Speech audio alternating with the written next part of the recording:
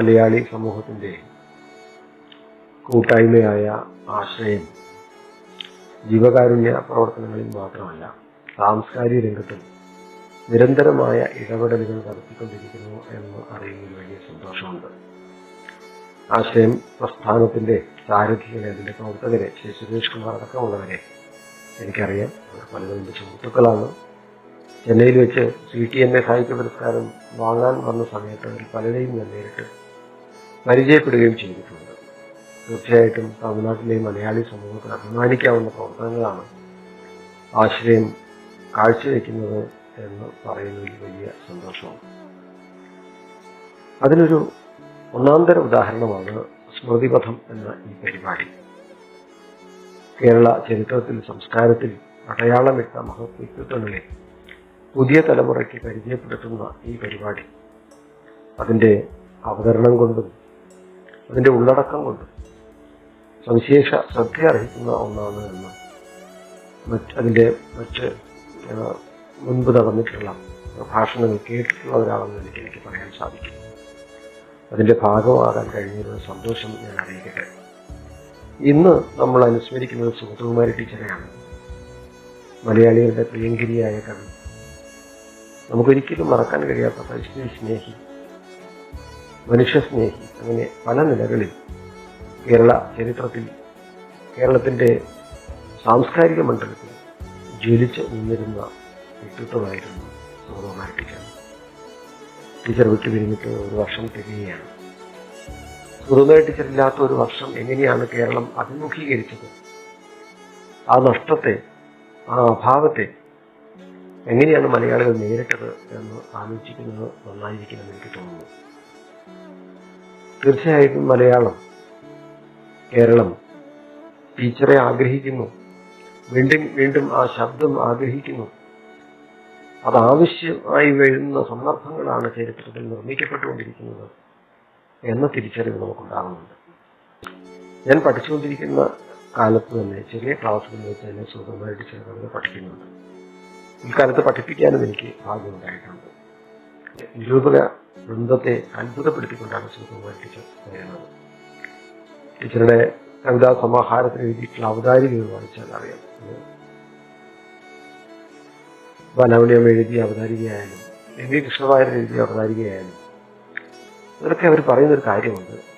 പ്രായത്തെ കവിഞ്ഞുള്ള പക്വതയോടെ അത്ഭുതകരമായിട്ട് മലയാള കവിതയിൽ പ്രവേശിച്ച ഒരു ജീവിതമായി സുഖമായിട്ട് ടീച്ചറെ വിസ്മയത്തോടു കൂടി കാണുന്നത് നമുക്ക് വായിച്ചറിയാൻ സാധിക്കും.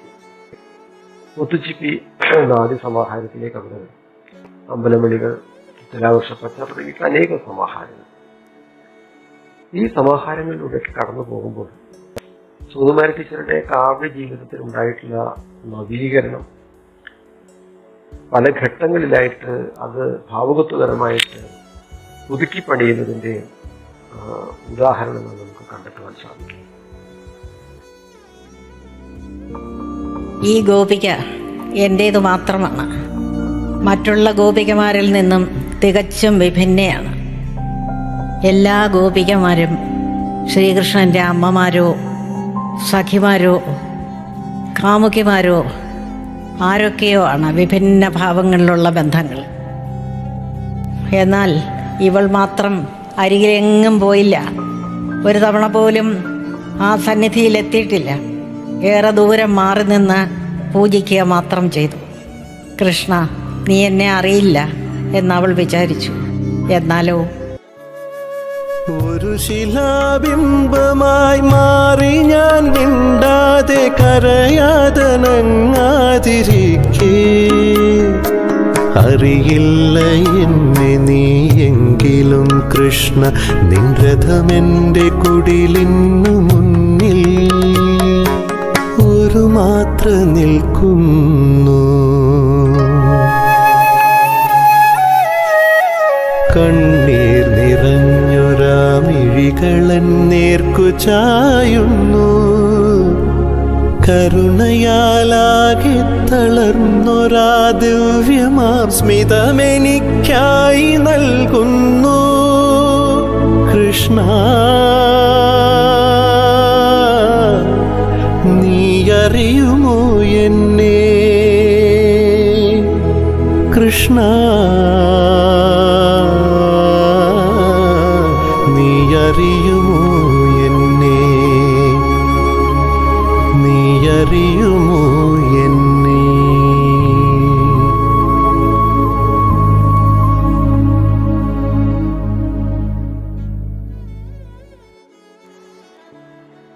കാളിയമർദ്ദനം സുഗതകുമാരി ടീച്ചറുടെ കവിതയിലൂടെ നാം നേരിട്ട് കാണുമ്പോൾ അല്ലെങ്കിൽ നേരിട്ട് കാണുന്ന അനുഭൂതി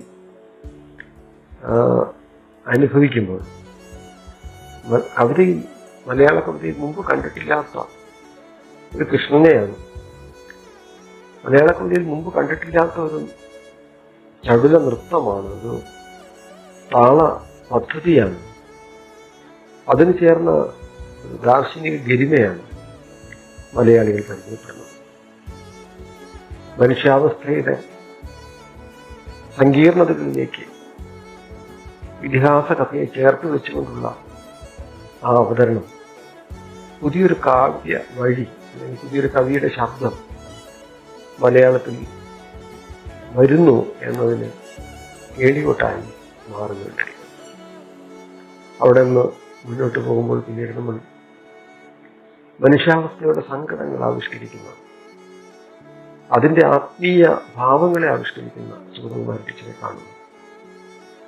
മനുഷ്യൻ എത്ര പാവം മനുഷ്യ ഹൃദയം എത്ര പാവമാണ് എന്ന് അത് കണ്ടുപിടുത്തം എന്നെ അത്ഭുതപ്പെടുത്തിയിട്ടുള്ള ഒരു നിരീക്ഷണമാണത് ഒരു താരകയെ കാണുമ്പോൾ അത് രാവ് മറക്കും പുതുമഴ കണ്ട് വരച്ചു മറക്കും ഒരു പാൽച്ചീരി കണ്ട് അത് മൃതിയെ മറന്ന് സുഖിച്ചേ പോകും.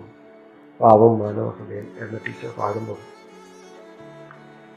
മനുഷ്യാവസ്ഥയുടെ സങ്കടങ്ങൾ അതിന്റെ പാവത്തിൽ എന്റെയും വ്യക്തിപരമായി ഞാൻ കൊണ്ടു നടക്കുന്ന മനുഷ്യാവസ്ഥയുടെ പ്രതിഫലനം ഞാൻ ആ കവിതയിൽ വായിച്ച് ഇതാണല്ലോ കവിത. ഇങ്ങനെയാണല്ലോ കവിത എഴുതേണ്ടത് എന്ന് അത്ഭുതപ്പെട്ടിട്ടുണ്ട്. ഒരു നക്ഷത്രത്തെ കാണുമ്പോൾ രാത്രിയെ മറന്നു പോകുന്ന ഒരു മഴ കാണുമ്പോൾ പുതുമഴ കാണുമ്പോൾ വരൾച്ചയെ മറന്നു പോകുന്ന ഒരു കുഞ്ഞിന്റെ ചിരി അനുഭവിക്കുമ്പോൾ മരണത്തെ മറന്നു പോകുന്ന മനുഷ്യൻ അവിടെ നിന്ന് അല്പം കൂടി മുന്നോട്ട് പോകുമ്പോൾ രാത്രി മഴയിലെ ഏകാഗിയായ ആത്മാവിനെ നമ്മൾ പരിചയപ്പെടുന്നു. തനിച്ചായ രോഗാതുരതയാൽ ബന്ധ ബന്ധിതയാക്കപ്പെട്ട ഒരു സ്ത്രീ മനസ്സ് മഴയുമായി പ്രകൃതിയുമായി നടത്തുന്ന സംവാദം സല്ലാപം ഐക്യപ്പെടൽ. അതിന്റെ മനോഹരമായ ആവിഷ്കാരം രാത്രി വരെയും നമ്മൾ കേൾക്കുന്നു. മലയാള കവിതയിൽ അതുവരെ നമ്മൾ കേൾക്കാത്ത ഒരു ശബ്ദത്തിലാണ് നമ്മൾ കേട്ടത്. അങ്ങനെ ഉജ്ജ്വലമായ കാവ്യമുഹൂർത്തങ്ങൾ അതുപോലെ തന്നെ ഉജ്ജ്വലമായ ശില്പവൈഭവത്തോടെ ആവിഷ്കരിക്കുന്ന കവിതകളാണ് സുഖമായ ചില ആദ്യകാല കവിതകളൊക്കെ അവിടെ നിന്ന് ആ കവിതയ്ക്ക് ഒരു ഷിഫ്റ്റ് വരുന്നത് ഒരു ഒരു മാറ്റം വരുന്നത്. സാമൂഹ്യ പ്രതിബദ്ധമായ വിഷയങ്ങളിലേക്ക് എത്തിക്കുന്ന ശ്രദ്ധ തിരിയുമ്പോഴാണ് പരിസ്ഥിതി പ്രവർത്തനമൊക്കെ ഇടപെട്ടുകൊണ്ട് പ്രവർത്തിക്കാൻ തുടങ്ങിയ കാലത്ത് ശ്രീ എൻ വി കൃഷ്ണഭാരതിന്റെ കാവ്യ ധാരയുമായിട്ടെല്ലാം പരിചയപ്പെടാൻ ഇടവന്ന സമയത്ത് അദ്ദേഹത്തിന്റെ ഉപദേശങ്ങൾ കേൾക്കാൻ അവസരമുണ്ടായ സന്ദർഭങ്ങളിൽ ഇതെല്ലാം ചേർത്ത് നിർമ്മിച്ചെടുത്ത പുതിയൊരു ഭാവുകത്വം പിന്നീടുള്ള സുഖമായ ചില കമ്പനിയിൽ പ്രവർത്തിക്കുന്നുണ്ട് സ്ത്രീക്ക് വേണ്ടി പ്രകൃതിക്ക് വേണ്ടി വാദിക്കുന്ന അതിന്റെ ഉണ്മയെ തിരഞ്ഞു പോകുന്ന അതിന്റെ മഹാസങ്കടങ്ങളെ ആവിഷ്കരിച്ചു വെക്കുന്ന കവിതകൾ. അങ്ങനെ പരിസ്ഥിതി ബോധവും സ്ത്രീ സുരക്ഷയെക്കുറിച്ചുള്ള കാഴ്ചപ്പാടുകളും കുഞ്ഞുങ്ങളോടുള്ള അനുഭാവവും എല്ലാം ചേർന്ന് പുതിയൊരു ഹരിത രാഷ്ട്രീയം ആ കവിതകൾ സ്വാംശീകരിക്കുന്നത് നമ്മൾ പതുക്കെ പതുക്കെ കാണുന്നുണ്ട്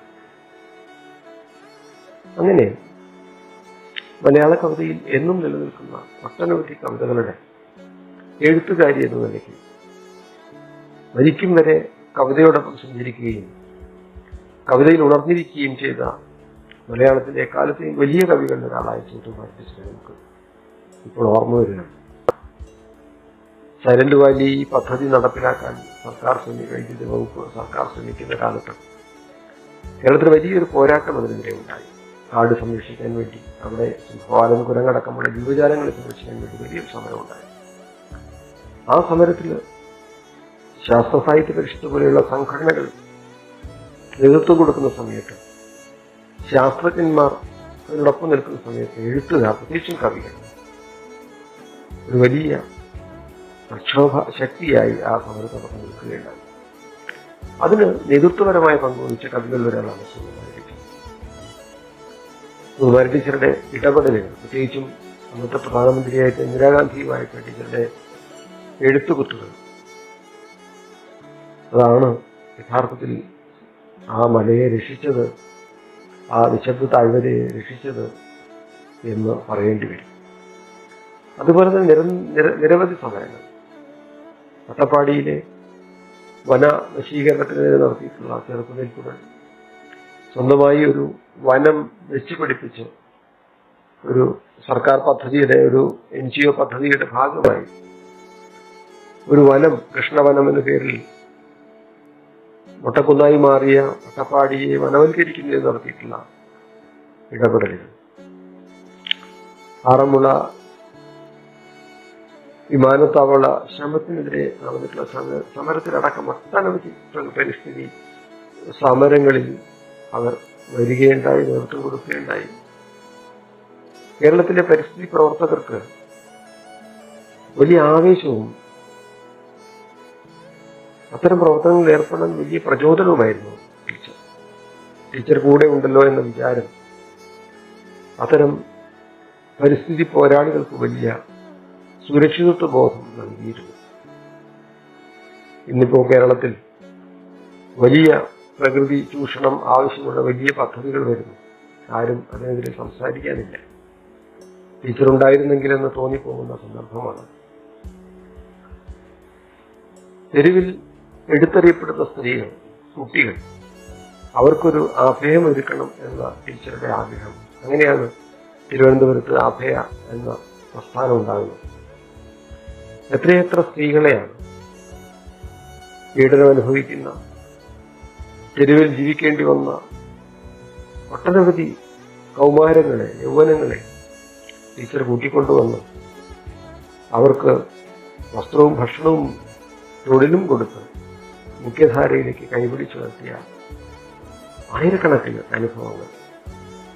അങ്ങനെ മനുഷ്യ സ്നേഹത്തിന്റെ കവിതയിൽ മാത്രമല്ല ജീവിതത്തിലും പുലർത്തിക്കൊണ്ടായിരുന്നു ടീച്ചറുടെ മുന്നേറ്റങ്ങൾ.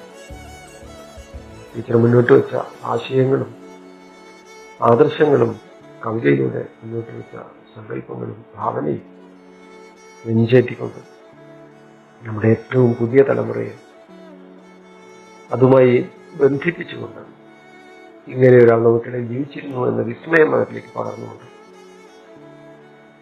മുന്നോട്ട് പോകാൻ ഇത്തരം ഓർമ്മ വീണ്ടെടുക്കുന്ന സ്മൃതിപഥ സഞ്ചാരങ്ങൾ സഹായിക്കും എന്ന് പറഞ്ഞുകൊണ്ട് ആശയം നടത്തുന്ന ഈ പരിപാടിക്ക് എല്ലാ ഭാവവും നേർന്നുകൊണ്ട് സുഗതകുമാരി ടീച്ചറുടെ ഓർമ്മയ്ക്ക് മുന്നിൽ ആദരാഞ്ജലി അർപ്പിച്ചുകൊണ്ട് രണ്ട് വാക്കുകൾ അവസാനിപ്പിക്കുകയാണ്. എല്ലാവർക്കും നന്ദിയും സ്നേഹവും ആശംസിക്കുന്നു. നമസ്കാരം. എന്റെ വഴിയിലെ വെയിലിനും നന്ദി. എന്റെ ചുമലിലെ ചുമടിനും നന്ദി. എന്റെ വഴിയിലെ തണലിനും മരക്കൊമ്പിലെ കൊച്ചു കുയിലിനും നന്ദി. ഇരുളിലെ ചതിക്കുണ്ടിനും പോയൊരിരവിലെ നിലാക്കുളിരിനും